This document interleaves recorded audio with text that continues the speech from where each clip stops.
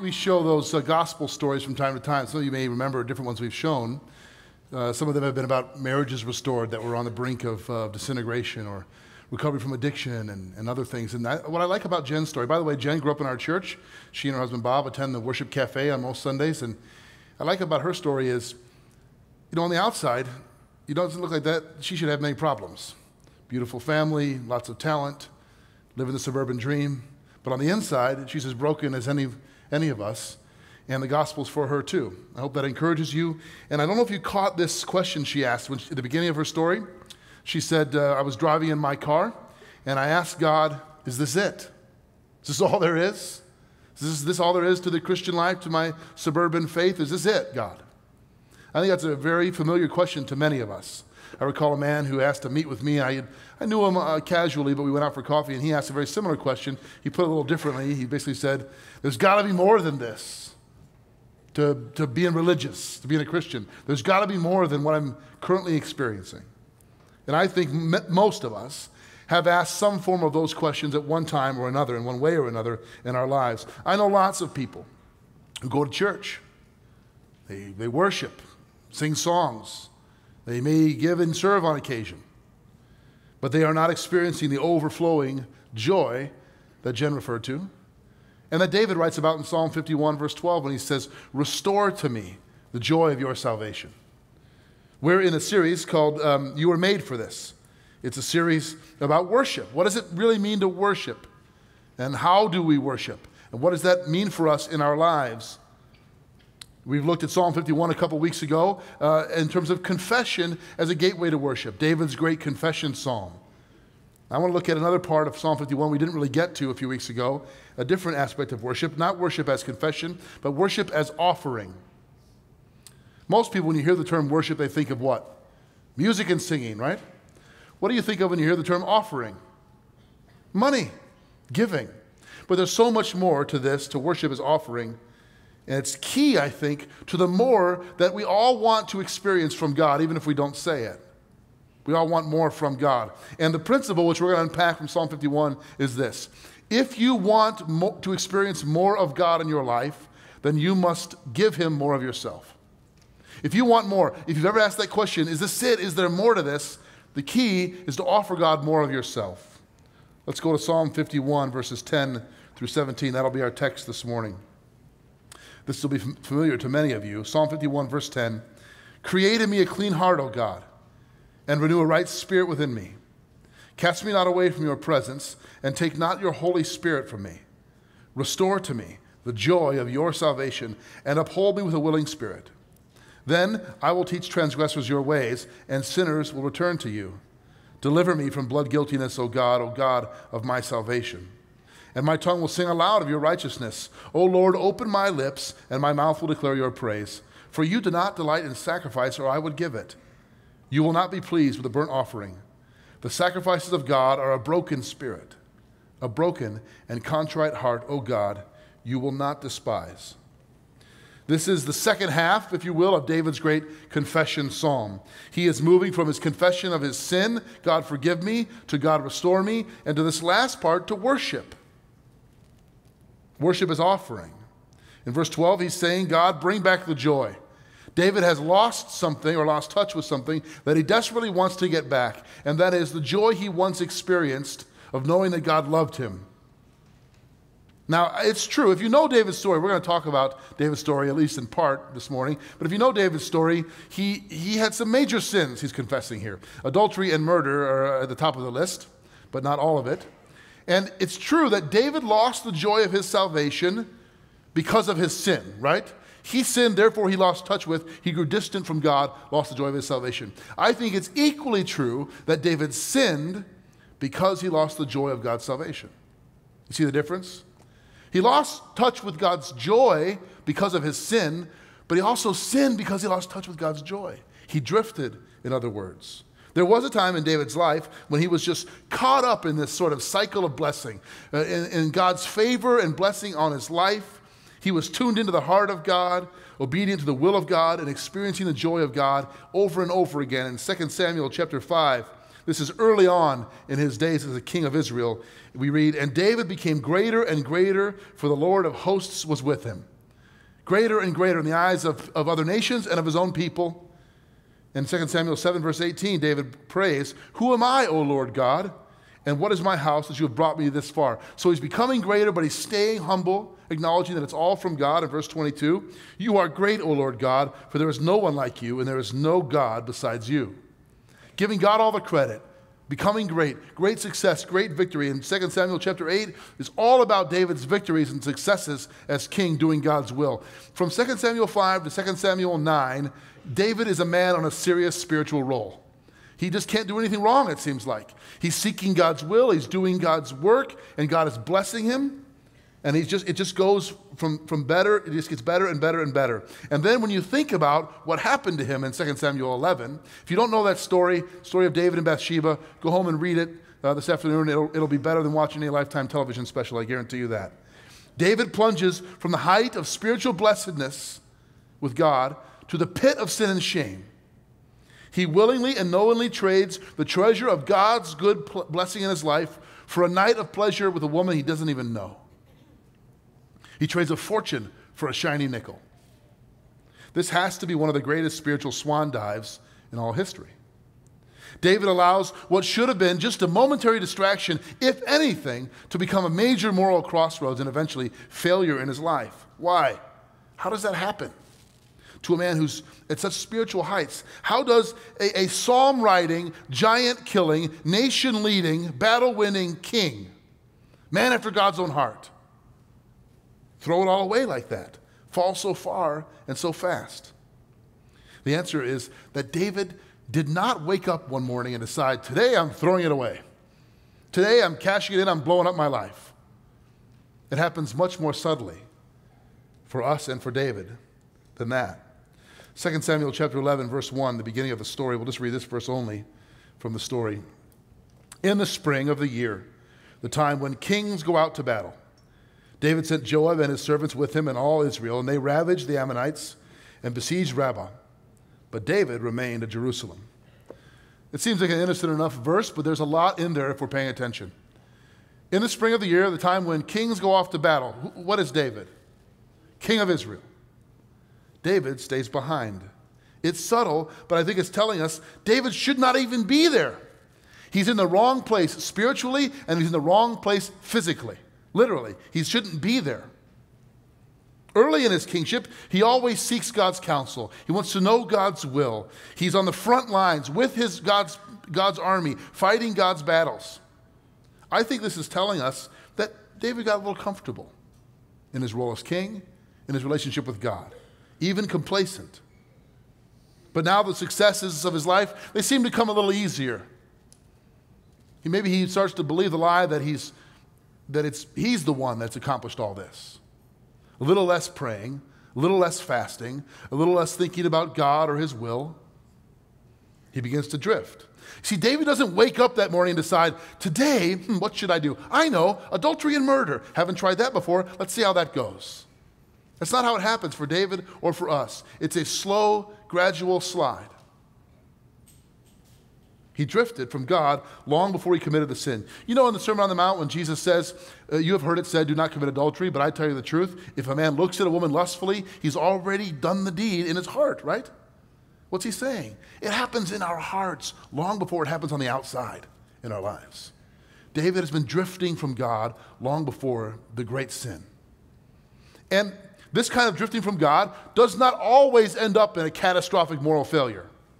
Sometimes it does for David. Sometimes it makes the headlines or blows up your life. But for many of us, what it leads to is just a cold distance from God, a joyless faith, where we end up asking, Is this all there is? Is this it? I don't feel very close to God.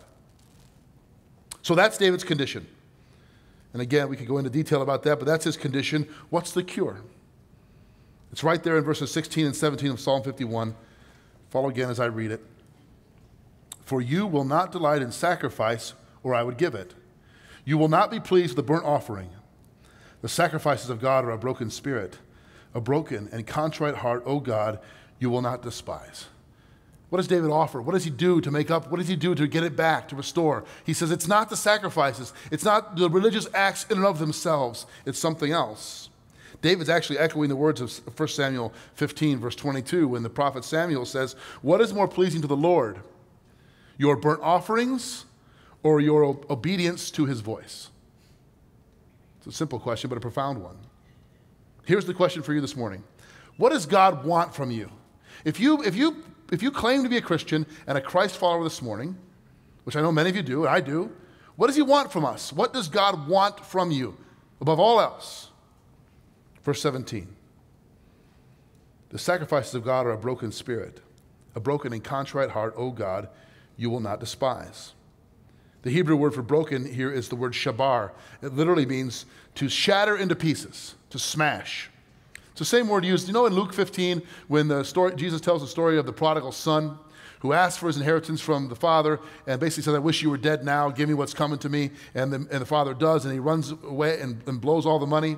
In Hebrew culture, to do that was to wish your father dead. The father in that culture would have performed a ceremony called a kazah. He would have taken a pot and stood at the edge of the family property and smashed it, shabar, smash on the ground into pieces, saying, Our relationship is smashed. It can't be repaired. It's broken into pieces. That would have been the symbol of the broken relationship. That's the word David uses here smashed, broken, shattered. And contrite, the Hebrew word there is dakah. It means to crush or to flatten. So David is telling us what God wants from you. What does God want from you? He wants your crushed, shattered, broken, flattened lives. Is that what God wants? Yes, that is what God wants from you. He wants your brokenness. And this is radically countercultural in our lives, right? It's counterintuitive in our hearts and it's countercultural. When I was a kid, my mom made us dress up to go to church. I can see that some of your moms are the same way. Some of you, others of you, not so much, right? We dress up to go to church, right? We got to put on our best for God. But what she really means mostly is we got to put our best for the people sitting down the road from us, right? So I don't think God is concerned with the quality of our jeans or our slacks or whatever else we have on right? So we dress up to go to church. We, we dress up for a job interview. My guess is you don't roll out of bed and not brush your teeth and just go and see if you get the job. You put on your best, right? You, you want to put your best foot forward in a college application, in an interview. When people come over to your house, do you mess it up? No, you clean it up. It was crazy at my house, right? We vacuum every nook and cranny. I guarantee they're not looking there, mom, right? We got to clean everything. And in human interactions, it's not necessarily wrong to put your best forward. That's a good thing.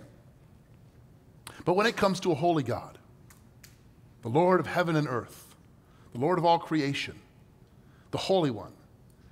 What are you possibly going to put on or offer that's going to impress him? Nothing. It's ridiculous when you think about it. Who are we kidding? That we could impress him with how we look, how we talk, what we do. The classic New Testament teaching on this truth is in a story Jesus told in Luke 18. We won't go into it in detail, but in brief, Jesus tells a little parable about two guys go up to the temple. Uh, one of them's a Pharisee. He's a respected, religious, rule follower, upstanding member of the community in that, in that Jewish community. The other one's a tax collector, a known cheat, a traitor to his own people. Both men go to the temple. Both men go to the temple to pray. And the, both prayers are recorded. The Pharisee's prayer is, Thank God I'm, I'm a righteous man, not like these sinners, especially this tax collector. The tax collector's prayer is, O Lord, have mercy on me, a sinner. Jesus says that's the man who goes home justified in the sight of God, not the one on the outside you'd think. Why? Because of his heart. It's because of their hearts. It's the same issue in Genesis 4 when God accepts Abel's sacrifice, but he rejects Cain's. Now, we could haggle about the, what was wrong with the actual sacrifice, but the point is, it came from the wrong heart. Here's the spiritual principle God is not interested in the sacrifice so much as the heart from which it comes. Now, we don't offer sacrifices. Christ is a sacrifice sufficient for all. We don't come to the temple and offer burnt offerings. Christ is our offering. But we have religious rituals just the same, don't we? You come here and you, one of them you're doing right now. You, you, you look knowingly and, and pay attention to the pastor. That's something you do in church, right? You stand, you sit, you come to the table, you put the money on the plate, you feel good about yourself. We do go through religious motions. You can do everything right. And God will tell you, He is telling us that if it isn't coming from a broken and contrite heart, it's not only not pleasing, it's offensive. Who are you fooling? Like my uncle used to say, putting perfume on a pig. Never understood what that was or why you would ever do that. You cannot, offering God your religious duty from a heart that's not surrendered is an offense to Him. You're fooling no one but yourself. The only acceptable heart in God's sight is the broken heart, the contrite heart. An object which has been broken has given in, has surrendered to the power greater than itself, right? Metal, a piece of raw metal in a blacksmith shop, succumbs, surrenders to the heat and to the hammer, and over time it's forged, it's transformed into something useful, even beautiful. It's the same principle with us spiritually. A broken and contrite heart is a heart yielded to the will and the love of God, and over time, sometimes with heat and hammering, we are transformed into something useful, even beautiful for God. This is what God wants. You want to know what God wants with you? From you, He wants your broken heart. He wants broken people to offer themselves in their brokenness to Him. The truth is that broken people are the only kind of people God can work with. Proud people have to be broken first. James chapter 4 verse 6. God opposes the proud but gives grace to the humble. What does God want with you? Your brokenness. This is what David is getting at in verse uh, 8 of chapter 51. He says, Let me hear joy and gladness. Let the bones you have broken rejoice. The Hebrew word for rejoice here literally means to jump much to dance, to leap for joy. Same word in, in 2 Samuel uh, chapter 6 when David dances in his linen ephod, that's a Hebrew word for underwear, before the ark of God. Dancing, leaping with joy, jump much. Let the crushed life become a life that dances and leaps for joy. God loves broken people. Do you know that? It's the only kind of people he can work with. God loves broken people. He loves putting broken people back together. What I want to do um, is read through a list of statements about proud people and broken people. There's 20 so statements. And as I read these, I would like to invite you where you sit. They'll be on the screens, or you can just listen to my voice. I'd like to invite you to do a little self examination, a little spiritual inventory of your own heart. See which phrase describes you. And maybe even right here this morning, God will begin to break you of your pride. You ready? Proud people are self conscious. Broken people are not concerned with self at all. Proud people focus on the failures of others. Broken people are overwhelmed with a sense of their own spiritual need. Proud people desire to promote themselves. Broken people desire to promote others. Proud people have a critical, fault finding spirit. They look at everyone else's faults with a microscope, but their own with a telescope. Broken people are compassionate. They can forgive much because they know how much they have been forgiven. Proud people have an independent, self sufficient spirit. Broken people have a dependent spirit. They, they recognize their need for others. Proud people have to prove that they are right. Broken people are willing to yield the right to be right. Proud people are self protective of their time, their rights, and their reputation. Broken people are self denying. Proud people desire to be served. Broken people are motivated to serve others. Proud people have a drive to be recognized and appreciated. Broken people have a sense of their own unworthiness. They are thrilled that God would use them at all. Proud people are wounded when others are promoted and they are overlooked. Broken people are eager for others to get the credit. They rejoice when others are lifted up. Proud people feel confident in how much they know. Broken people are humbled by how very much they have to learn. Proud people keep others at arm's length. Broken people are willing to risk getting close to others, to take risks of loving intimately. Proud people are quick to blame others.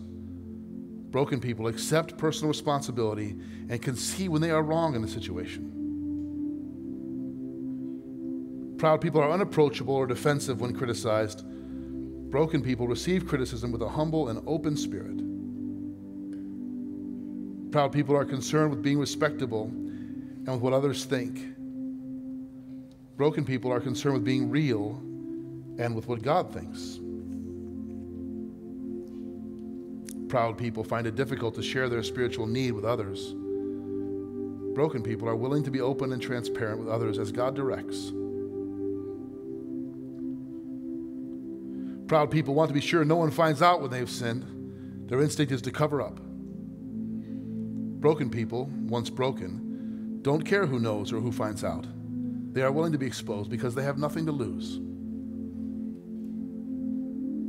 Proud people tend to deal in generalities when confessing sin.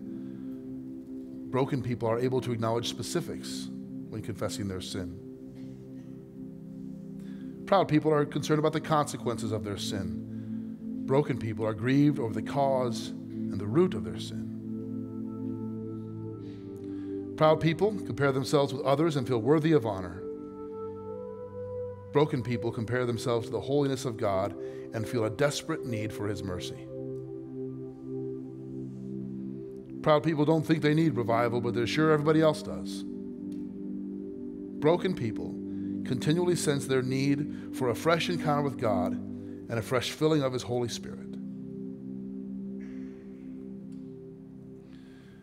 Now, I don't know which one describes you or which ones. I know which ones pierce me. If you want more of God in your life, then you must offer Him more of yourself, and not just the cleaned up, presentable parts. Not just the parts that, are, that look good, not just your strengths and your successes. You must offer Him your weakness, your failures, your sorrows, and your brokenness. Do you know that we only have one thing we can offer to God which He has not already given us? Your talent, your treasure, your job, your friends, your home, all that are, God gave you those. What's the one thing we can give to God which He has not first given us? Our sin. It's our weakness and brokenness. We offer it back to Him. Why? Because God loves broken people. He loves restoring broken people, putting them back together so that He gets the credit and the glory. Will you stand with me for closing prayer? And if you're here this morning and after I pray and we dismiss you, you'd like someone to pray with you personally, feel free to come forward at the close of the service. We'd love to meet with you down front. And also, I forgot to mention this earlier, but we, we take a benevolent offering once a month for those people in our church and in our broader community who are in, in, in need material need. If you, if, if you came prepared to give, ushers will receive that as you leave. Let's pray. God, we thank and praise you that, that your grace is, is not just for the strong and the sleek and the talented. Your grace is for the broken. And though we don't like to admit it, and we try to deny it and hide it, we are all broken people. And thank you, God, that you love broken people, that you love restoring and healing and mending broken people. Oh God, help us to be broken before you and contrite before you so that the world would see how good and merciful and gracious you are. We pray this in Jesus' name and for his sake. Amen, and go in peace.